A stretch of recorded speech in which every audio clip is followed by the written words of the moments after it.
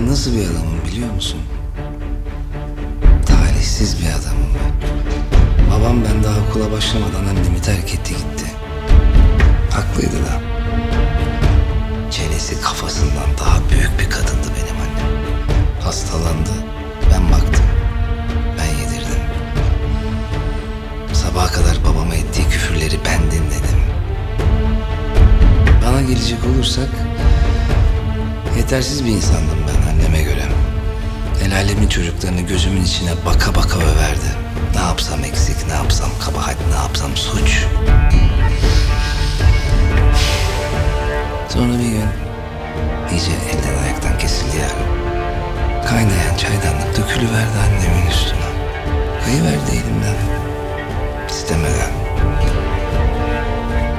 İnsan isteyerek yapar mı böyle bir şey? Kaynayan çaydanlığı boca eder mi annesinin kucağına?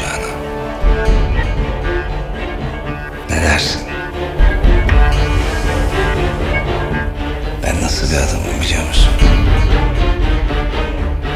Talihsiz bir adam.